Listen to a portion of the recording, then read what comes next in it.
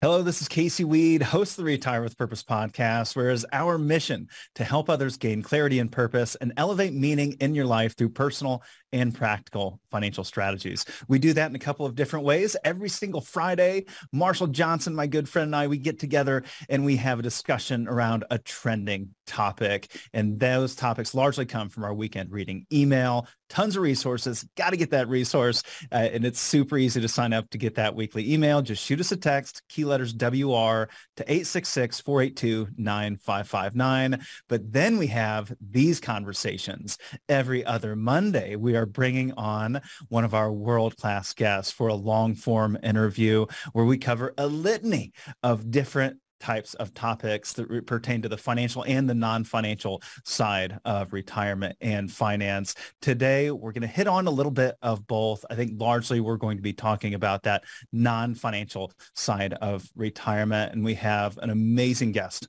from an amazing background, a very unique perspective that's going to be able to bring a lot of awesome things into this conversation. If you're joining us on Facebook Live, I encourage you to drop those questions that you have as they pop up throughout the conversation right into the comments section. Those will be served up to me, and then I will serve them on over to Doc G today. So please drop those questions in there. We'll answer as many of those as we possibly can. Hey, and if you're not following us live on Facebook Live, what's going on? Check us out at facebook.com forward slash Howard Bailey, and you'll be able to subscribe and get notified of all of our upcoming interviews. And heck, as a weekend reading subscriber, you're getting notified early and you get to submit your questions early. And we have some great questions that came from our weekend reading subscribers for this interview with Dr. Jordan Grumet, otherwise known as Doc G. Jordan, Dr. Grumet. I think we're going to run with all of those different topics today. And I, I don't know what we're going to call you, but I'm going to go with Doc, Doc G. Jordan. Hey, he is an associate medical director at Journey Care Hospice.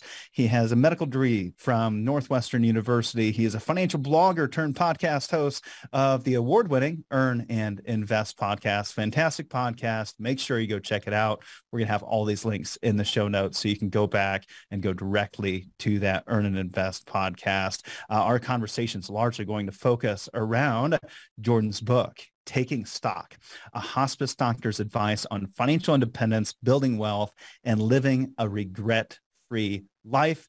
What a concept. So Jordan, welcome to the podcast. Casey, thank you so much for having me and thank you for your kind words. Oh, I'm excited to have this conversation. I think it's a unique one. You know, I, I, think we've we've had many individuals come and have conversations with us from the medical industry, and some that have even gotten out of the medical industry into the financial industry, much like yourself. Uh, but nobody from the hospice world. And I love how you bring so much of your unique perspective and experience um, from a place that uh, is truly meaningful, a place that can bring a lot of individuals a better idea of how to live a fuller life today uh, rather than later.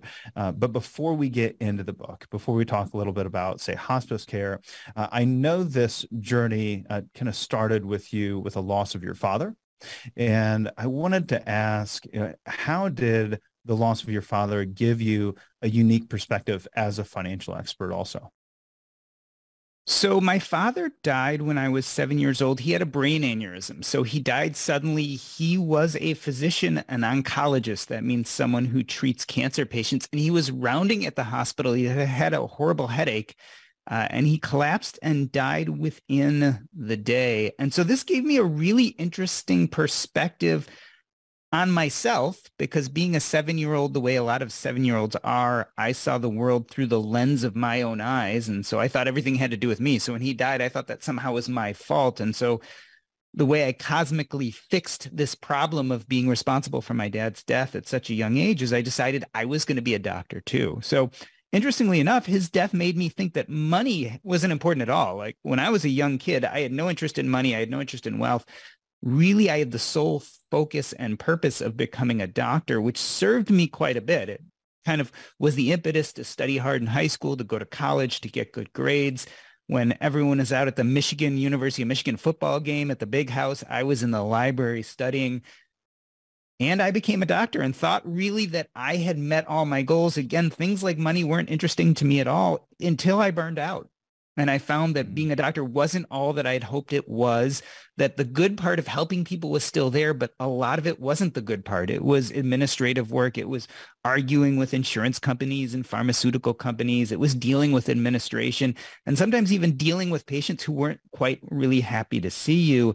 And that's when I started thinking about money. So I think my dad kind of his death pushed me into becoming a doctor and it gave me that sense of purpose. But when I found that purpose wasn't serving me anymore, I got very interested in money because I was looking for a way out of this practice of medicine that was no longer feeling good. In fact, it was feeling bad. And, you know, I only had the skills of being a physician. It was the only thing I had ever been trained to do. So I didn't know how to make money outside of being a physician. So then the other answer is you need to accrue enough money, have enough net worth so that money works for you and that you can stop working. Yeah. And that led to me starting to really learn about personal finances.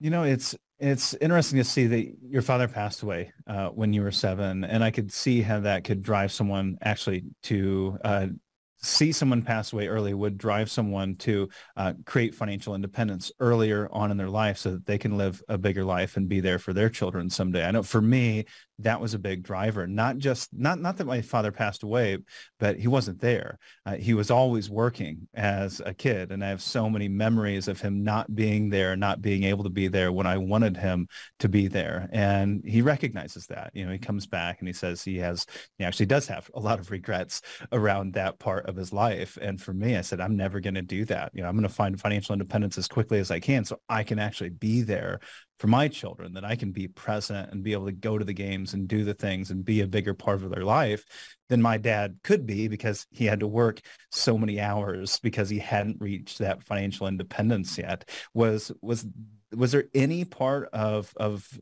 that element that creeped in for you? So my dad was an interesting financial model and I've had a few financial models because my mom eventually went into the workplace and she became a real financial model for me as well as my stepdad when my mom remarried.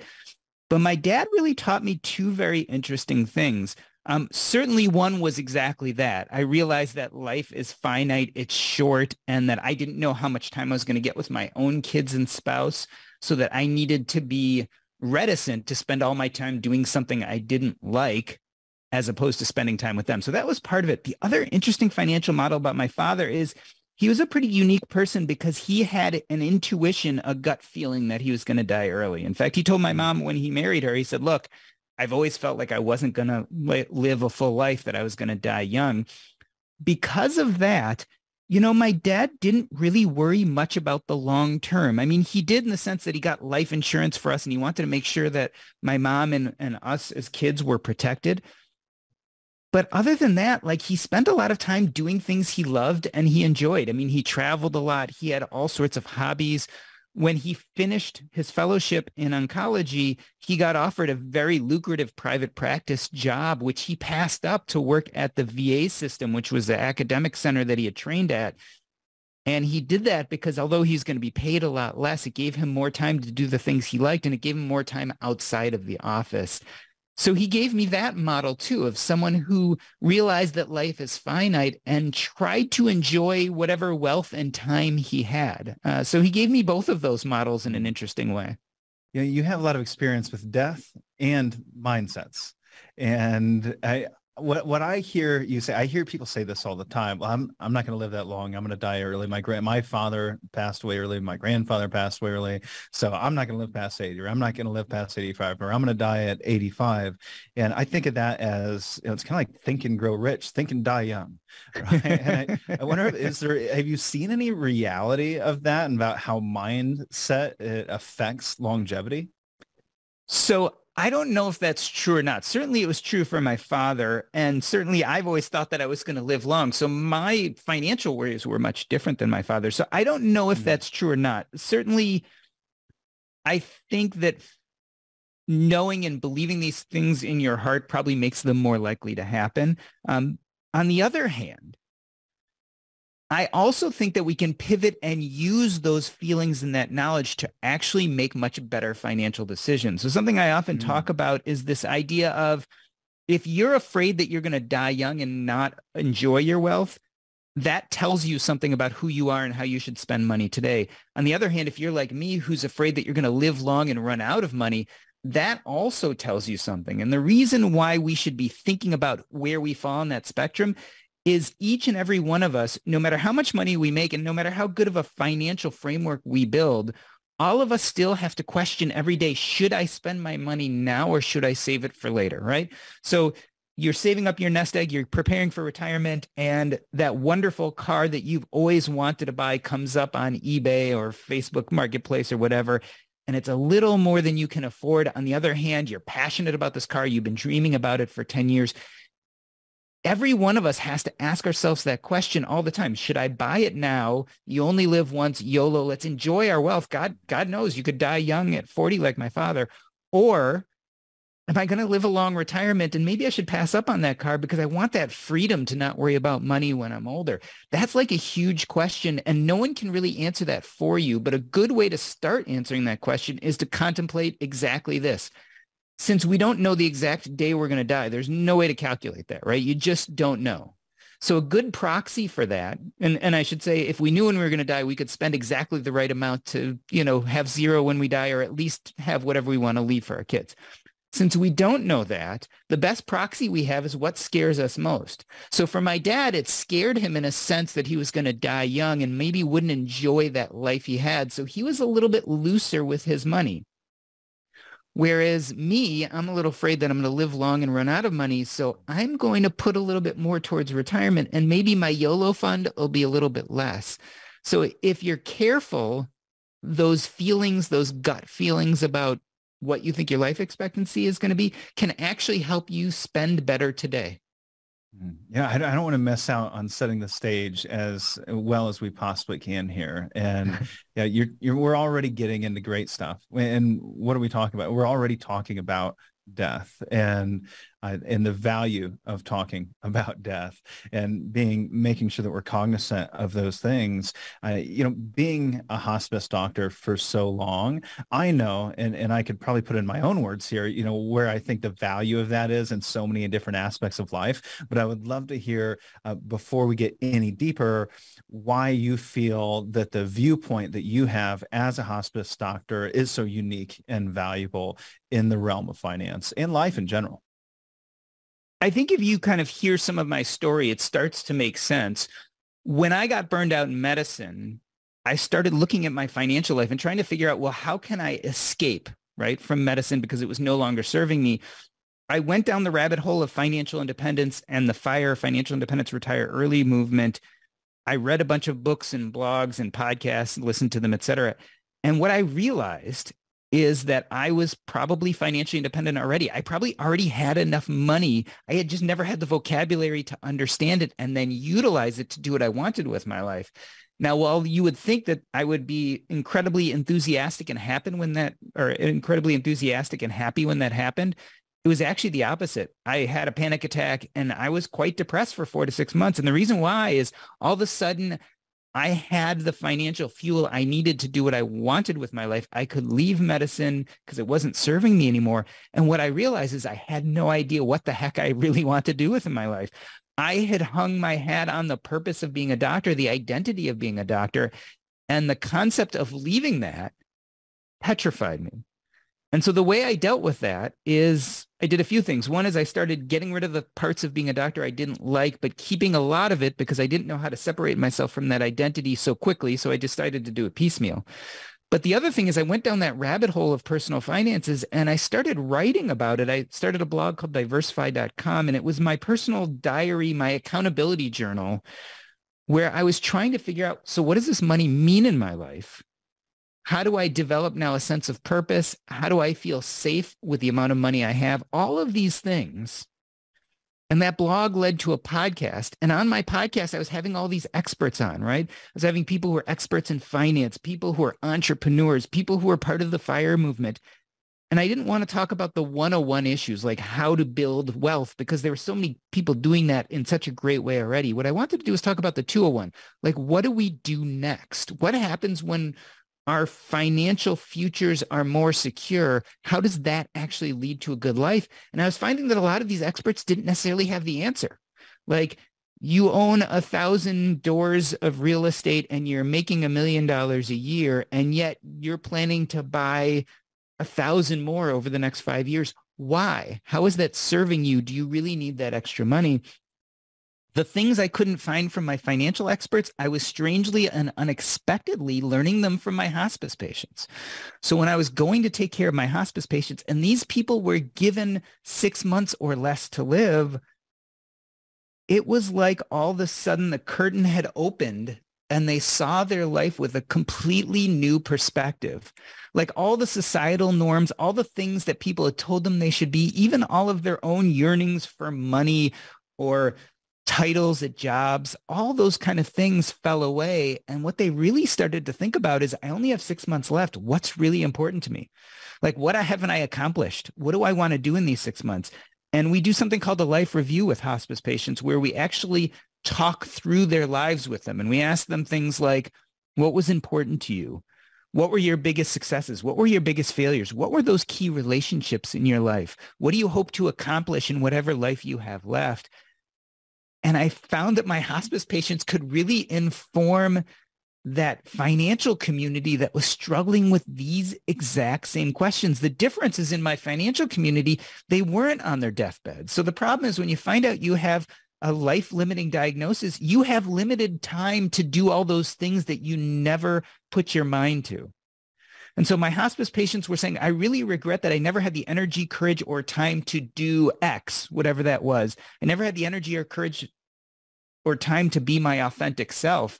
And so I wanted to take that message and bring it to much younger people, bring it to people in their 20s, bring it to people in their 50s who are contemplating leaving their job and yet were afraid what would they do with themselves once they did that. Mm-hmm.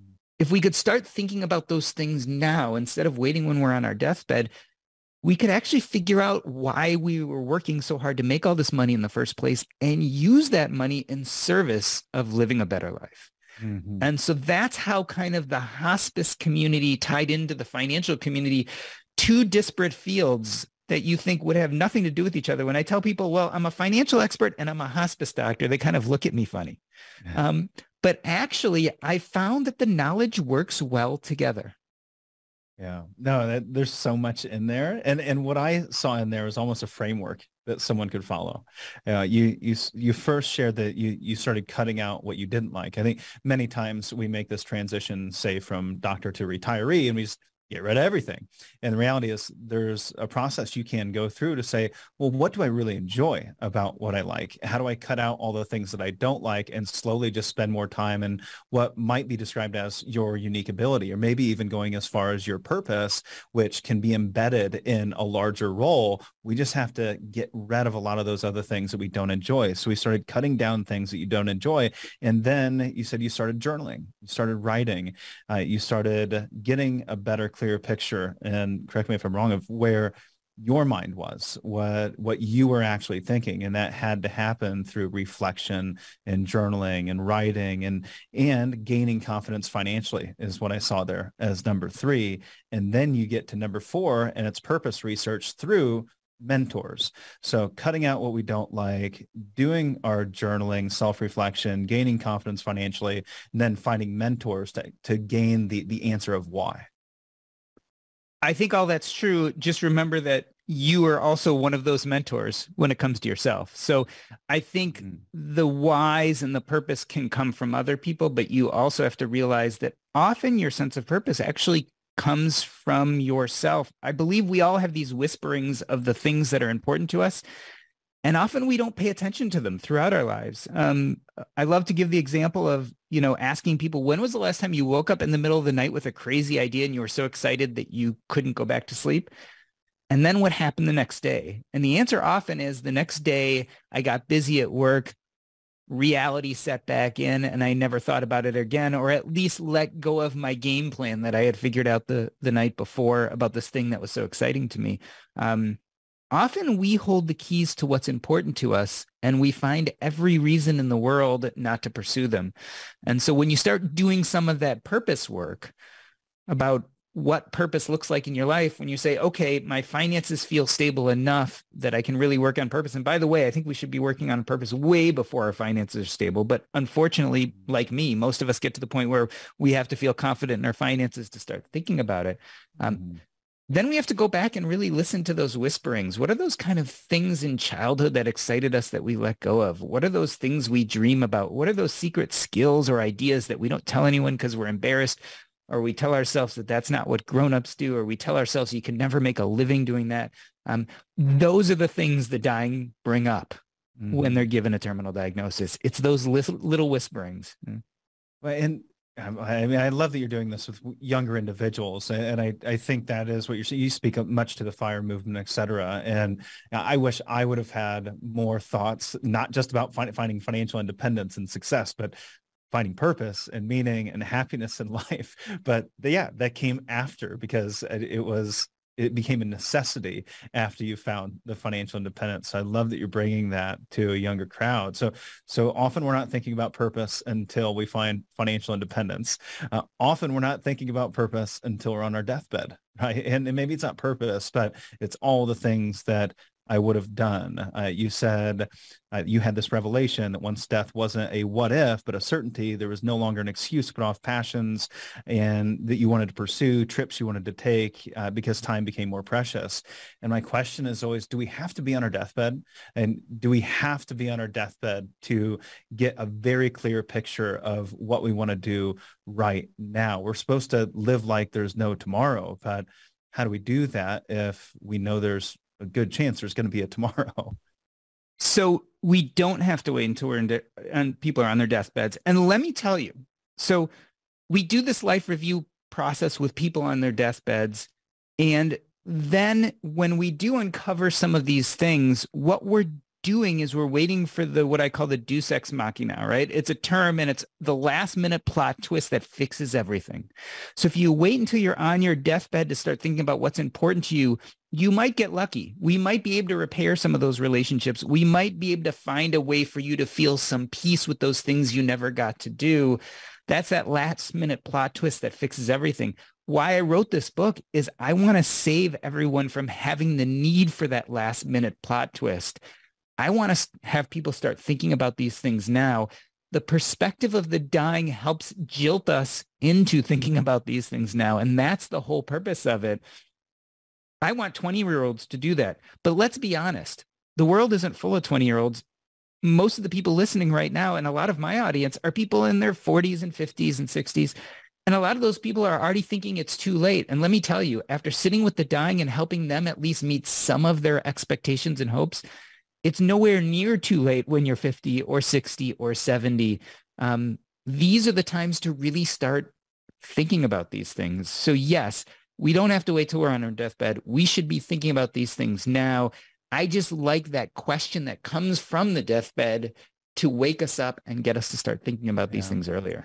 When you've written that you don't believe in YOLO, you only live once. You you believe in we only die once, but we live many lives over and over again. Can can you expand on that?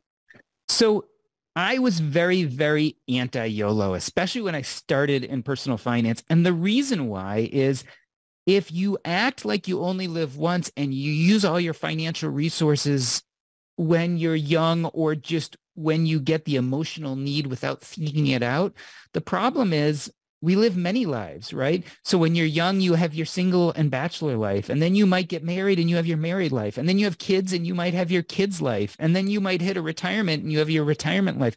These are all new lives. And if you over YOLO, you use all your fuel and all your finances, and you don't want to be underfunded when you have kids and want to go on a vacation, or when you are retired and you're exhausted and you don't want to work anymore. So I was very anti-YOLO in the beginning. And that led to this idea, well, you don't only live once, you only die once.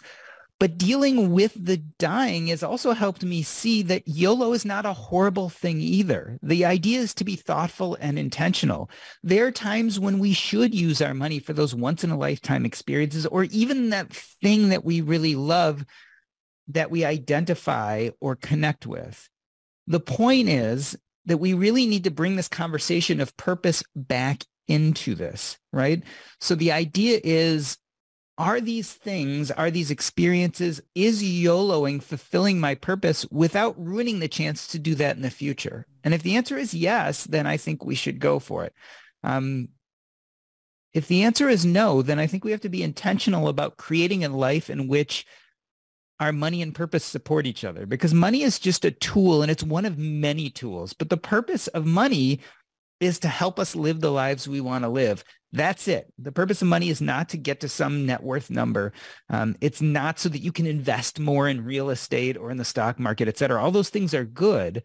But the real purpose of money is to do those things we want to do. And so the question is, how do we help money or how do we place money in service of doing those things that are really deeply important to us?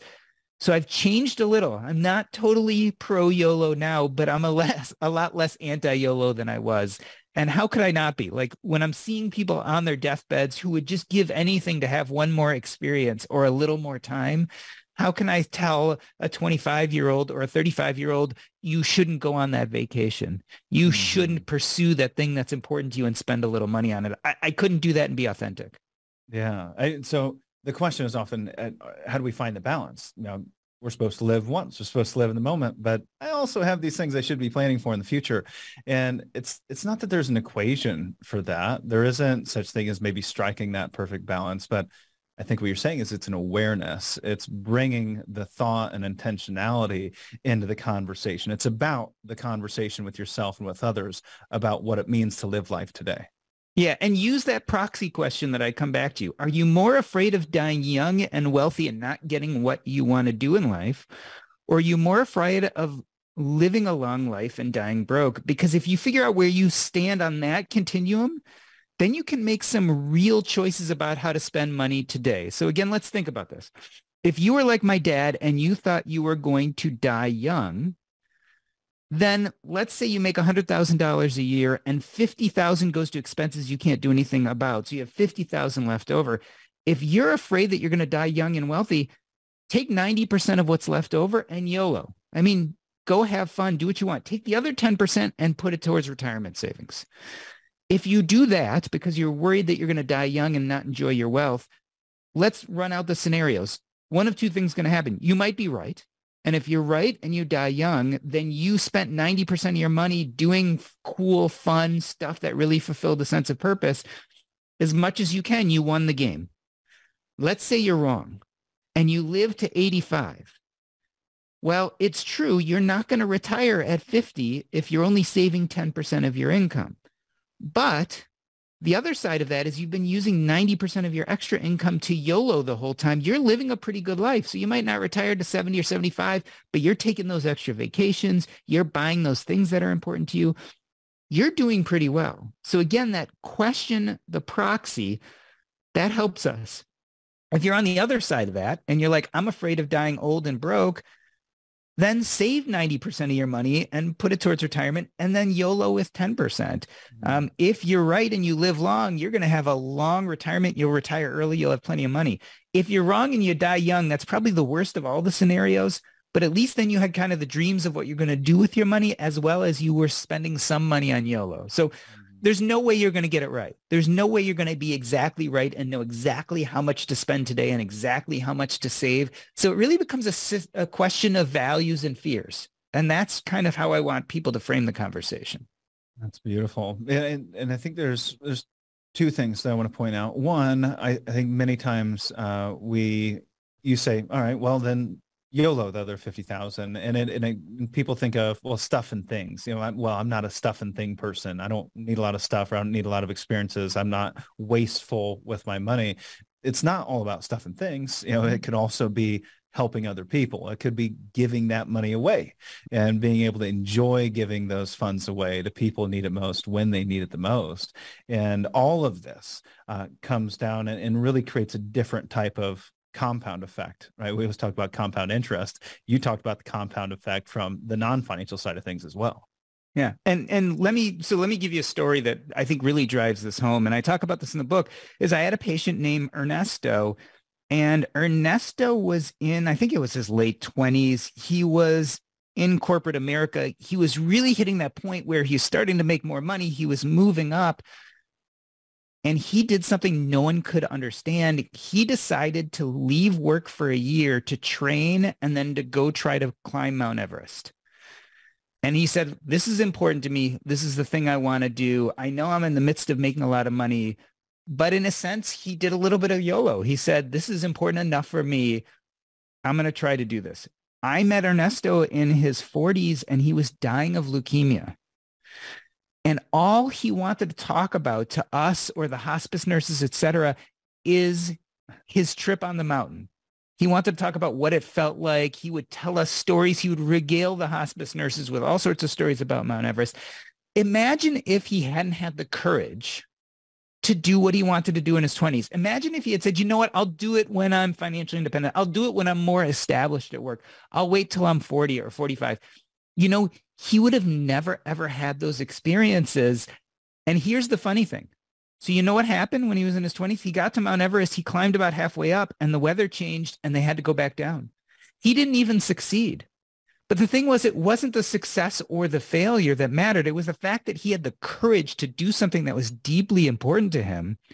And so we talk about investments compounding and we talk about investments paying dividends. But I'd like to suggest that following your purpose and it, these things that are important to you, if you pursue them, those also compound in the form of memories and joy and stories. And so when he was on his deathbed, those were the dividends that he kept on receiving this kind of memories and the joy and the being up there doing what he really wanted to do and so again yolo as an economic concept is not so great but if we're not intentional about what's purposeful to us we're not really investing correctly. And so i'm not talking about investing money i'm talking about investing ourselves I wonder how much of, uh, I mean, we think it's an economic concept. I think it largely comes out in that way. And when you think about all the individuals that you've seen on their deathbed, I, I would venture to guess their top regret isn't um, like what Jack Welch said. I, am sure you know what Jack Welch said on his way to the hospital. I think he had a heart attack and he said, damn it, I wish I would have spent more money. And I, but I wonder, is that what do you hear that often? Does it really come back to money? I I, I don't know that most are going to go, damn it, I wish I would have spent more money. I I what it seems like there would be a different most common regret, but w- what do you often see? So I rarely hear people say, I wish I worked more. I rarely hear people say, I wish I had hit that net worth goal that I never made it to. Like I wanted to make $500,000 and I was only worth 250, right? No one says that when people do talk about money, often it's more about how money didn't serve their purpose. Like, I wish I had made more money so I could have left more money to my children because they're struggling right now and I want to help my grandson go to college. Do people wish they spent more money? Only in a sense that they wish they spent more money towards doing things that were important or purposeful for them. Often what they really regret, and it's different for every person, but it the echoes are always the same. I regret that I never had the energy, courage, or time to do these important things to that were these things that were important to me, these things that helped define me. And that's different for everybody. For some people, it's a hobby. For other people, it's a relationship. For some people, it's an achievement. I wish I wrote that book. I wish I summited Mount Everest. Whatever that may be, um, it's different for each person. And again, if you're afraid of what happens a lot of times people we, we don't do these things we're really really that are really really important to us because we're afraid we're not going to succeed. But i can tell you from dealing with the dying it wasn't whether they succeeded or failed it was whether they had the courage to give it their best. Hmm. and so you can't lose on some level if you start thinking about purpose now. Even if ultimately you quote unquote fail at doing that thing that was really important to you I don't think that's what matters in the end. The matters is that you were in the arena and gave it your best. And I think that's what I hear over and over again. So only money plays a role. Well, there's two times. Money plays a role when you have absolutely so little that you're suffering from it, right? So you have no money. So you have food insecurity or location insecurity. Okay. So those things people are going to say, wow, I wish I had a little more money.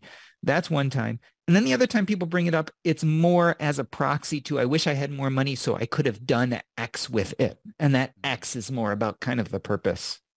When I'm thinking that X is probably more about time, you, you said there, energy, courage, and time that it's energy and courage and time are the things that they wish they would have had. You had a chapter in your book on time and money. So are these two things interchangeable? They are not. Um, so what I say in the book, and I, I say often, is you can't commoditize time. Time is static and unchangeable. So time passes no matter what we do. And in the American language, in the English language, we often try to exchange them, right? Like money is time. We spend money or we waste money, or sorry, we spend time doing something or we waste time doing other things. So we use these words that make them sound like they're interchangeable, but they're not. Time passes no matter what you do. You have control over two things. One is your perception of time, and we can talk about that a little bit. But the other thing, which I think is more important, is we have a little bit of control over what activities we're involved in as time passes. So time passes no matter what you do. The best we can do is create these meaningful, purposeful activities during that time as time passes. And so how do you win the game of life? You fill up as many of those time slots because life is a series of time slots that we have no control over that pass you win at the game of life when you fill up as many of those time slots with meaningful and purposeful activities as possible. And you get rid of as many dreadful or bad things that you don't like doing. You get rid of as many of those activities during those time slots. And that's it. Life is a series of time slots. The question is, how are you going to fill them? Because it's passing no matter what you do. Mm. It's an interesting take on it. I don't think I've looked at it that way. I, I think as a business owner, I'm always thinking of uh, time as money and exchanging uh, time and money. They seem very interchangeable in the world that I find myself in. Uh, I say, well, uh, I'm going to pay somebody to do that so that I can go do this, right? It, it pay, writing that check frees up my time and looking at, say, you know, what you earn on an hourly basis and saying, you know, is this something that's worth my time? Should I have someone else fill in this slot? I mean, just in general, we think about time and money all the time. I think as business owners, uh, we often think of it, you know, in in that particular light. Um, and then as retirees, you know, I, I think retirees maybe maybe they miss this, but they are exchanging quite often time and money or money for time. Uh, you talk about the one more year syndrome or golden handcuffs. You know, well, I'm going to work one more year so that I don't have. And we see this all the time. I'm going to work. Uh, I'm going to work to my. I'm 65. I've got three more years, but I'm going to work till my six. I'm 65 because I don't want to have to pay for uh, health insurance. well, you're you're you can afford it. You're exchanging time for money. So here's my problem with thinking that way. So what if you don't have money?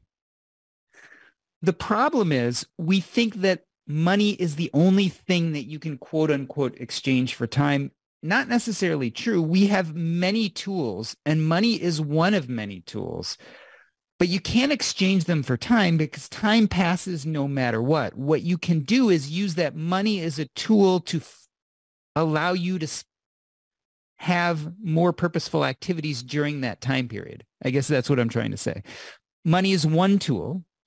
Your connections are another tool. Your joys, your, you know, your energy, your youth, those are all other tools. And we can use other tools also in order to make sure that we're filling up those time slots with meaningful activities. So yeah. money is a tool it can't create more time. That time is passing. But you are right in the sense that you can use money as a tool to offload some things so that you can do more purposeful activities during that time that's passing no matter what you do. yeah, I, I, love thinking about it in a broader sense. There are other things other than just money that can be exchanged yes. to gain more time and not really just time in the sense of a clicking talk eh, or a ticking clock, but time in the sense of meaningful experience. And also let's bring this back to its basics. You are correct that money can, in a sense, let's use the colloquial terms, buy you time. But what we always forget when we use that equation is what did you do in order to make money? If you're doing something you don't like in order to make that money or something that isn't purposeful, you're using those time slots early in the game to do things you don't like in order to then use that money to do things you don't like in time slots in the future. So you're right. You've bought time, but you've also lost time up front doing things you didn't want to do maybe to make money. And so this is why we have to think about purpose up front. Because if it's a one for one exchange, you haven't really gained anything. Is this the Parkinson's law piece? I, I, um, I, I, could see an application of Parkinson's law in that, right? We're, we're going to fill the space, whether we fill the space today or we fill it tomorrow, we're going to be filling that space. But but I'm, I'm sure there's another application of that, that, and I know you've made a different application of that in the Yes. I was about to maybe say. You, maybe can you make some applications of uh, you know, Parkinson's law, Pareto principle here? Um, geez, uh, I think the idea again is that yeah, I'm trying to think of a, a way that fits in. I mean, I think there's a vacuum, right? And so we tend to use time as a crutch to then dictate our activities. And that's very much Parkinson's law, right? The, the time you have allotted to do something is the time it's going to take, right? Mm-hmm.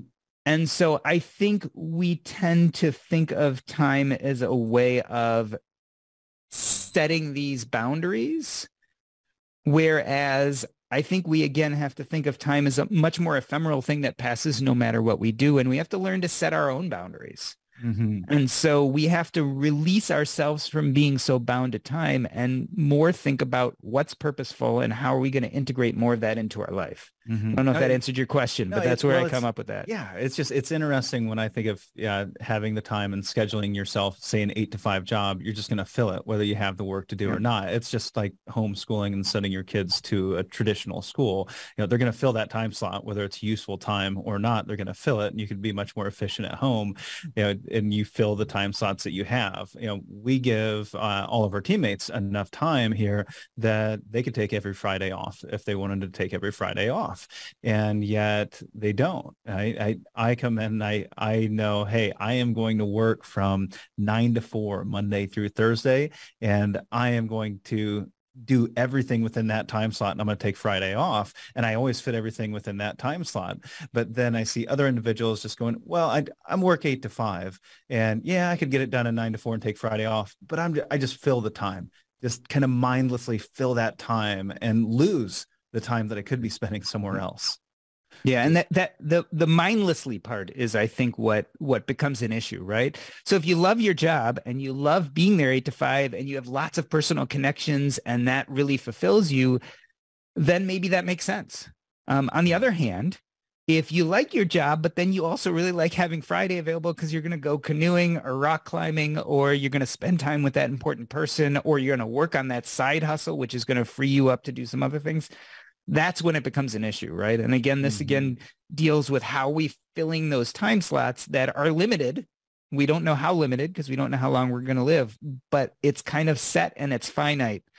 Um, yeah. You know, how are we going to use that time? I just love the the idea of going, well, you know, I'm I'm going to enjoy more of my life today by just telling myself I'm only going to work Monday through Wednesday or I'm only working from 9 to 3 and then just getting it done right? And you'll just playing that experiment and finding how much other time you actually can create by putting yourself into a, a fixed time schedule so that allow you to get the stuff maybe you don't want to get done so it frees you up to do other things. Yeah. and the uh, chapter in the book where we talk about time there's some exercises at the end where you can start thinking about that stuff right? So a simple exercise is give yourself an hour to write a job description for what you do, right? And, uh, you know, there's nothing else, like no other specifics. It has to be a page, it has to be a half page, none of that. Just give yourself an hour and write your own job description, right? You write it out, you spend an hour doing this, right? And then I say to you, okay, I'm going to give you 10 minutes,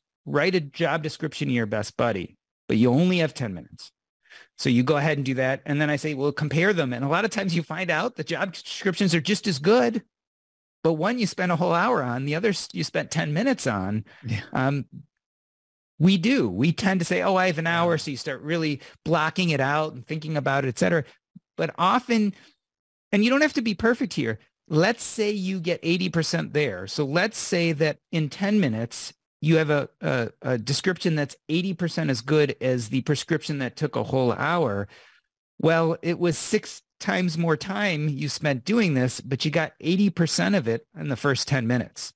And there's so the Pareto principle. There's the Pareto principle, right? so, so the question is, are you served by spending those extra 50 minutes doing something that you got 80% of the way there in 10 minutes? And I think interestingly enough, you can broaden that to a lot of things we spend our time doing. Now, that doesn't mean that, you know, so T- Tim Ferriss's, you know, the four hour work week, I think is an extreme, right? So could you do everything in four hours and still make what you make today and, and be a wonderful businessman? It's possible, but I think that's a touch extreme. Mm-hmm. But being thoughtful about how we spend our time and being thoughtful about allowing these tasks that we don't necessarily love take up more and more of our time again brings us back to being intentional about how we can be purposeful in life. Mm-hmm. Yeah, I, I want to uh, come back here and talk a little bit about the the fire movement financial independence retire early.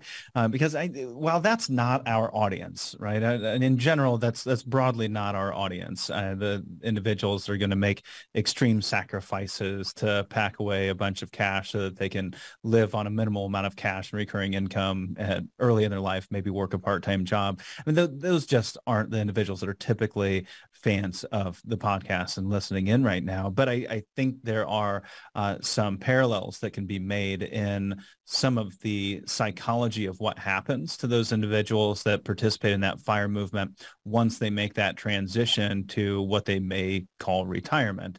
And that is that that fear of, I think, spending that comes out of this extreme frugal behavior. And it doesn't have to be extreme, but I see it with a lot of the families we work with where they've just been diligent savers for 30 or 40 years. And now they're transitioning into retirement oh, how do I change my mindset? How do I actually flip on the switch and actually start to enjoy my wealth, start to enjoy my time, start to enjoy my money and start to, to actually spend some of those things. So can you speak to the, the fear that's rooted in that concept of the fire movement and how it can create a disillusionment in, in purpose? You know, interestingly enough, I think the fire movement shares the same problem that that person who's been saving for 30 years and then doesn't know how to loosen the reins. They both share the same problem. And the problem is that they look at money as a goal instead of a tool. And the problem with looking at money as a goal instead of a tool is it doesn't really serve you. And, and there are a few reasons for this if you start looking at money as a goal, and we see this in the fire movement all the time, they're like, if I could just have a million dollars saved, I can stop working and everything will be great. Well, what happens when you get to that million dollars? And I would say it's the same for someone who's been saving diligently for 30 years and gets to retirement and has a mound of money. It's the same issue. What happens is you get to that goal, whether it be retirement or a million dollars net worth, if we're talking about the fire movement, and one of two things happens. You either are like, okay, I met my goal. What now? And because you haven't thought about purpose or identity or anything else or any other long-term goals, you've just been so focused on money. The next thing you say is, well, maybe I could make it to 2 million. So what happens is you start moving the line up because you don't know what purpose looks like you were so focused on money that that was the only thing you could think about. So it's very natural once you hit that money goal to then actually make a bigger, higher money goal. So that's one problem. The other side of that is let's say you hit that million dollars. A good number of people find themselves actually more worried and more scared than when they didn't have the money. It's called loss aversion. This idea yeah. that you actually fear doubly losing what you worked hard to gain than you ever feared not getting there in the first place. So when you think of money as a goal, it actually leads to a somewhat unhappy place. The better way is to look at money as a tool, and it's one of many tools you can use towards building a life of purpose. So where the fire movement gets it wrong and has actually been evolving and getting it much better is this idea of concentrating on money so much that you don't actually see what the role of that money should be in your life, which is allowing you to do things that are purposeful and fulfilling. Again, it's the same problem with people who've been diligently saving forever who had no interest in fire, but get to 65 or 70 or whatever their retirement date is, and then can't loosen the reins. And the reason why is they spent all that time thinking that the most important goal was money that it feels really uncomfortable to then start spending that money and working mm. against their goal. But if they can change their mindset and start looking at it as a tool, they start realizing that the money really isn't the thing at all. It's what the money allows you to do. Mm. And so that's what I try to tell the fire movement, but I actually try to tell everyone else. It is a tool and that tool allows you to live a more purposeful life if you're there already, let's help you use that money as a tool. And guess what? If you're not there, let's help you use some of those other tools you have to live a life of purpose today and not wait until you're 30 years out and then have to figure out what you're going to do with your money, which you're petrified of spending because you've spent so much time saving it up. Yeah, I, I don't think I've heard anyone else frame it like that. And so, the what what are these two things that happen? Uh, one, uh, we get to that number, and then we move the line because we we don't really know what we're going to do otherwise. Might as well just keep focusing on the purpose which was the money that we've been focusing yep. on the whole time and continue to focus on that particular purpose which is creating even more wealth. Number two now we have a fear of losing it. We have a fear of losing it because the whole purpose the whole time was to to create it. Mm-hmm. so we don't want to lose it because we had our focus in the wrong place. So it's not it, it's not about having a financial plan that creates us uh, income that you can't outlive. It's not having, uh, you know, it, it's it's not about creating a financial plan at that point. It's it's really just about having the intention in the right place the whole time. The intention mm-hmm. being on the purpose and meaning of the money in the first place. What is it? It is a tool for wealth. But the question being, well, what if it's too late? You know, what if we've spent our whole life not focusing on any other purpose other than creating that wealth?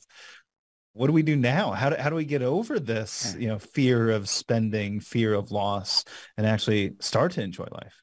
Yeah, so it's never too late. And I can tell you that clearly because as a doctor, a hospice doctor, I deal with people who have six months or less. And even with them, often we're able to find a sense of peace with their life and what they want and with purpose. So I don't think it's ever too late. Um, but it does mean that you're going to have to do some of this really, really hard work. Let me tell you, amassing money seems really hard. But ultimately, what's even harder is trying to figure out who you are and what you want in life. And I think you can do that when you're 20, or you can do that when you're 60, or you can do it when you're on your deathbed. It's going to be hard work at any time but it's valuable work and it's deep work. And whatever amount of time you have left, it can really help you be more purposeful in living the rest of that life. And so I don't think it's ever too late. Even if you've been holding on to your money tightly into the age of 60 or 65, and now you're like, I want to live a better life. I want to live a life of purpose, but I don't know how. That's a perfect time to start doing some of these exercises that are in the book and start really getting to the bottom of what role this money plays in your life and what role should it play in your life. So I think it's never too late to start doing your own sense of life review like we do with a hospice patient, but in this case, do it with yourself and try to really figure out what was purposeful to you in your life. What is a good way to use your resources now to live out that purpose and identity? And mm. so yeah, I, I my goal with the book was to actually help people start thinking about this first right? Mm-hmm. But I also realize that even someone on their deathbed benefits from this. So ideally, we like to build a sense of purpose and identity and connections first, and then we can start building a financial framework around that so that we don't have to wait until we're retired and we don't have to wait till 60 to be purposeful. Um, that's our original goal. But I think for anyone at any time, it's a good time to start doing this work and it will serve you. Well, I think this is a good time to transition into some specific tactics, exercises, tools.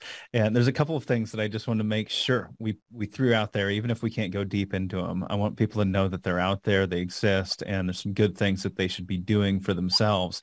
And one of those is a little bit more tactical. It's a practice or a habit uh, that you shared. And that is something called the non-budget mindset. You know, there's so many, I mean, I can't tell you how often the whole budget conversation comes up. I just had one of her advisors the other day that said they're trying to have this conversation with their spouse and it's really challenging.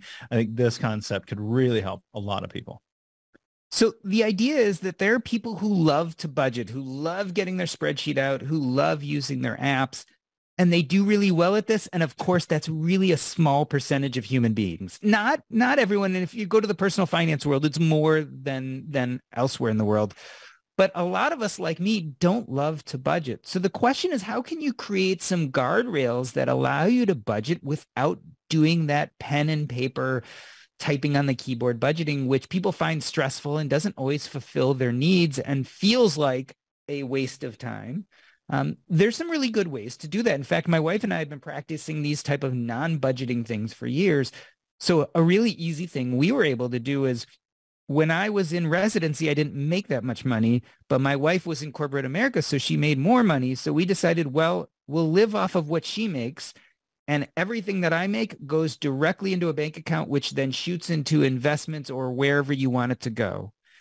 And so one way of doing a non-budget was whatever she made went into the bank account and we could spend what was there. there was no money there. We, we were done. We really couldn't spend anymore. Um, but if there was money there, we should spend freely and not worry about it. And we were automatically saving my whole income. So that was a really, really easy way not to take pen to paper, but to basically budget. There's some other really tactical, easy things to do. Like, okay, I grew up in a time where we couldn't have our credit card on our phone, so it wasn't as easy. But an easy way that I used to do things when I was younger is I never carried cash around right? So you're at a meeting or you're in class and you're hungry or you're thirsty. Normally we'd take out a few bucks or we'd take out whatever credit card and go and get something at the vending machine. I never carried any cash. And back then cash was the only way to use the vending machines. It was a really easy way to kind of budget without budgeting. If I didn't have the cash, I couldn't spend it. And so I often, it was my habit. We carry very little cash around us and, and never carried much. Other things we used to do like we rarely like when making a big purchase let's say you're in the store and all of a sudden you see something you're like i gotta have it. Like it was a pretty normal for rule. We would almost never buy something the day we got the urge to buy it. We'd always step away give it a week and then come back and decide whether we want to buy it or not. So simple things like that like how can you build a budget in your life without actually having to do the labor some work and there's there's all sorts of tricks right a lot of people buy used. Like it's really easy nowadays to get used clothes or to get used stuff on Facebook Marketplace or on eBay or what have you. There's so many easy ways to kind of save yourself money without even thinking about it, as well as protect your wealth. And so uh, things like automating. So your money automatically goes into your 401k or your money automatically goes into your brokerage and that automatically goes into an index fund every month. If you can do some of these things without having to spend time thinking directly about it, you're still having the same effect, which is you're mm-hmm. saving money and you're budgeting.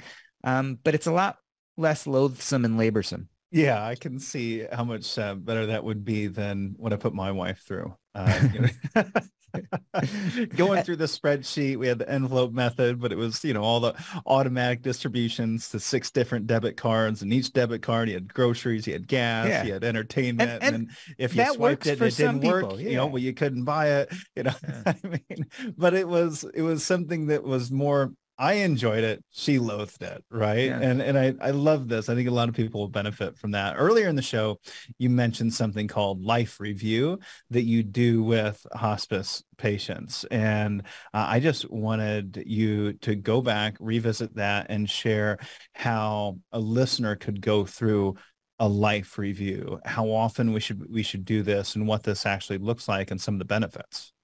So life review is pretty magical when we do it with hospice patients, and it often does help them frame their sense of purposefulness in life and identity, and also helps identify some things that maybe we could think about getting done within whatever time they have left.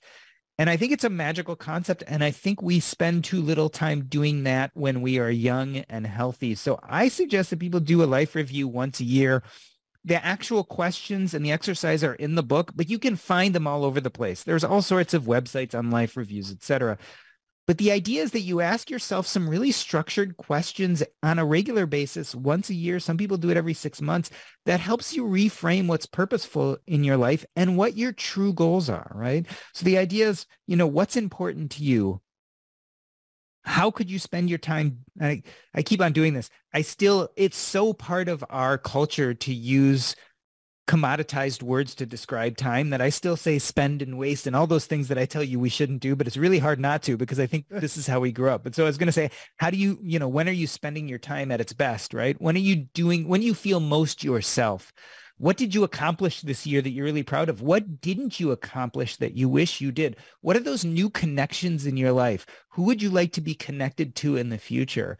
Like there's just a series of these questions and these are things you should really meditate on. So this is not something you should answer in one day. No, Doc G, we're answering these tonight. Yeah, exactly. We're doing it, you know, at 5 night. p.m. from 5 to 5.30, right? So oh, it is. It's date night. So I am right? absolutely so bringing this to Pareto principle says that if I allow myself 30 minutes to do this, 30 minutes should be the... I'll get it done. Yeah. But, you know, you get the idea. And these are things to really meditate on over some time and it's only, I think, when we get intentional about those things that we can start addressing them. Like, again, what are those whisperings? If you never ask yourself the question, if you never pay homage to them, if you never give them the space in your life they deserve, you're never going to pursue them. And that's the idea behind the life review. And I think it's very, very powerful. Um, yeah. No, I'm excited. I'm serious. I'm going to use it tonight for date night. So it's going to be a lot of fun. I, I, love it. I'm excited about it. Hey, I also, before we get into a couple of the questions from the audience, I wanted to make sure that everyone knew you have an amazing purpose process in the book. You have a nine step process for discovering purpose and identity. So again, we're going to put a link into the show notes. We're going to give away the book here in a moment as well. So now let's get into a couple of our fan questions. Yeah. Okay. So one of those questions came from Chris and Chris actually offered uh, Chris is one of our weekend reading subscribers and offered up quite a lengthy uh, explanation, uh, a, really a heartbreaking story uh, about what happened in their lives, in their experiences, in their experience recently with one of their loved ones uh, passing away in a hospital, the age 85, um, and and it just it was a pretty traumatic uh, experience that they had at the hospital, and it was kind of a mess at the same time. So, not going all the way through every aspect of that story, I really just want to share his question that that relates to that. That question being, we have advanced directives. We have do not resuscitates. Uh, we have fully funded post-death hotlines, trusts, etc. But dealing with the bureaucracy of the hospitals makes me worry for my wife and children and how they may have to deal with end of life situations in our future? What are the resources to better understand this process and how to navigate end of life choices? Uh, one of those aspects that they did struggle with specifically was the advanced directives, uh, just not covering the expanse of circumstances that that occurred for them throughout that experience. So this is something I get a lot. And so let me ease your mind the expanse of circumstances is so large that your advanced directive is not going to cover everything or the truth of the matter is it only covers very specific things. So, you know, there's so many different medical situations you can find yourself in my family member's unconscious and they have a 50% chance of waking up. But if they do wake up, they're going to have kidney failure and they can't move the left side of their body, but they'll be able to blink with their eyes and their speech will take a year of physical therapy to get better, blah, blah, blah, blah, blah. The truth of the matter is we can't speak to all those things. So what I often tell people is better than worrying about the specifics of the advanced directive. There's some really basic things to get in there, like would I want to be on life support a certain amount of time? Would I want artificial feeding? Some really basics there. But for the rest of it, as opposed to trying to codify it in a document, it's actually having a medical power of attorney that's going to help you more than anything else. What you really want is the person who's going to make medical decisions for you that you've had in-depth conversations with them about the kind of things that agree with the, your values and the kind of things that don't. And the reason why is, again, it's going to be really hard to codify on paper. So whether it's a spouse or a parent or a child who's going to eventually make medical decisions for you if you can't make them on your own, you're most, most and best served by actually spending hours talking to them about what kind of things you'd like and what kind you wouldn't. For instance, some people will say, I want to be kept alive no matter what. If there's any shot that I'm going to live, no matter what type of disability I'm going to have, as long as I can think and interact with you, I want to be kept alive. That's much different than someone who says, you know what, if I'm on life support and it's within 48 hours and if it's going to take me a year of rehab to get better and I might not have all my functions, pull the plug. Everyone is different on these things. I had this conversation with a really good friend of mine and he said, you know what? I spend most of my life in my brain. I'm a very cerebral person. I think all mm. day long, and that's how I spend my day. He's like, as long as I can think, keep me alive. Boom. that like clarified a lot of exactly what this person wanted. And that's really hard to get in writing. So don't obsess yeah. about the advanced directives too much. Obsess about who's going to make your medical decisions and have really in-depth conversations. And here's something a little scary that's going to not sound good to people. I've seen often people have detailed advanced directives and yet haven't had these deeper conversations with the people they love and the people they've loved override their advanced directives at the end of life, even though they're not supposed to. And the doctors often listen to them. So when you have a spouse saying, keep her alive, keep her alive, keep her alive, and there's an advanced directive that says, you know, remove life support after this amount of time, they listen to the spouse. They don't necessarily follow the advanced directive. Yeah. That's why I had to make my father the medical power of attorney. yeah. Thought, oh, my yeah. wife will never be able to execute. You're, so end of life today in America is a mess, right? So there's something called a POST form, which are physician orders of life-sustaining treatment. Especially as people get older, these are really good because it says very clearly, I don't want CPR. I don't want a feeding tube. I don't want to be on a ventilator. So I think that's important filling out your advance directives, which give a lot of vague, if after 48 hours, two doctors conclude that there's a certain percentage of a chance that I won't, blah, blah, blah. I think filling out those reasonably, but not spending a horribly large amount of time on them is good. But then spend a lot of time talking to whoever's going to make your medical decisions for you and make sure that those are mm-hmm. clear and they know who you are and they know what your value systems are because people lose sight of the fact that it's more about dignity. And so every person's version of dignity is going to be different.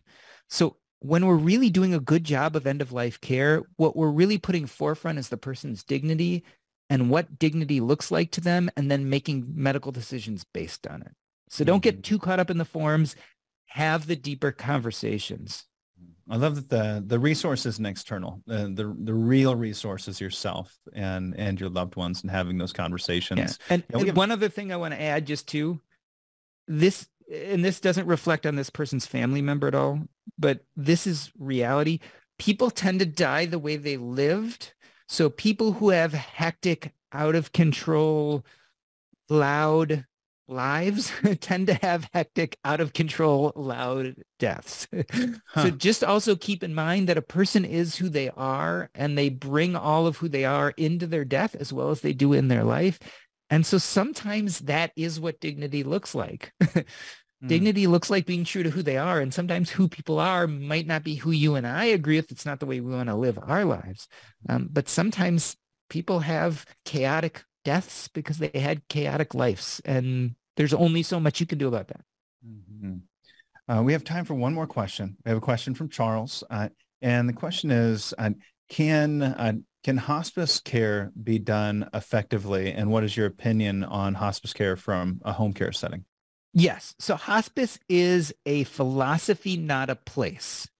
So hospice, hospice can be done at home. And we, in fact, most of our patients in my hospice, which has like a thousand patients, are home patients. Hospice can be done in nursing homes. It can be done in assisted livings. It can be done in ICUs. It can be done in emergency rooms.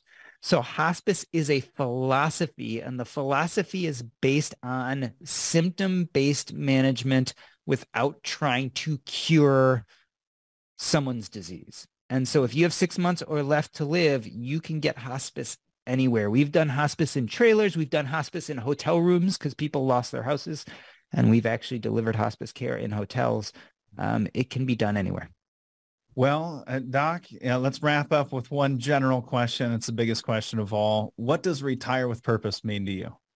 Oh, retire with purpose means that you are fulfilling all those time slots, as many as you can with purposeful things that you are doing work. So retirement is not about not doing work because we are working our whole lives, but it's work we choose, whether we're being paid for it or not, whether we have an employer or not. Retirement with purpose means living your true purpose, identity, and connections, hopefully as soon as possible, whether you're still at a job or not. Mm-hmm. That's awesome. All right. Well, let's wrap with this. I want to give away your book. So if you'd like to get a free copy of Taking Stock, a hospital, do- a hospice doctor's advice on financial independence, building wealth, and living a regret-free life, we're going to be giving it away right now. And it's super easy for you to get this book.